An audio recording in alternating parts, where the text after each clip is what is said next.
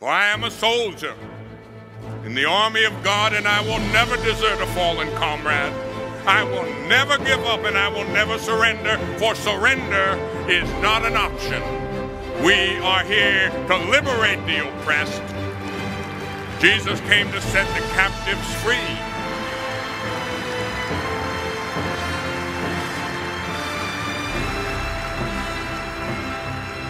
So it is, my brothers, that we find ourselves at war, and our battle is not against flesh and blood, but against fallen angels, principalities, and powers, rulers of this present age of darkness, the spiritual hosts of wickedness in regions above. So I put on the armor of God, I take up the instruments of war, my spiritual weapons, and I press on toward the finish line. Surrender is not an option, for this war is a war to the very end, the bitter end, the war to end all war. And so we run that race to the finish line. We help each other. We pray for each other. We do penance for each other. We offer reparation for each other. We stand up like men with a backbone. We don't give in to evil.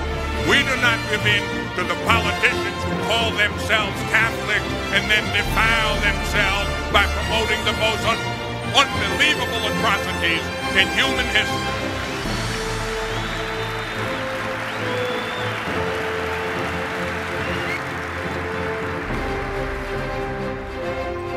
For we are warriors now, fighting on the battlefield of faith.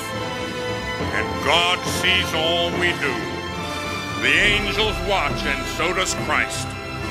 What honor and glory and joy to do battle in the presence of God and to have Christ approve our victory.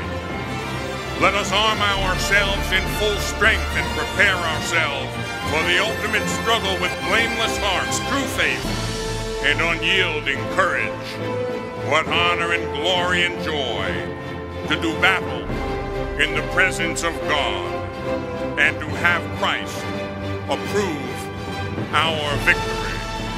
God bless you. God love you. And goodbye.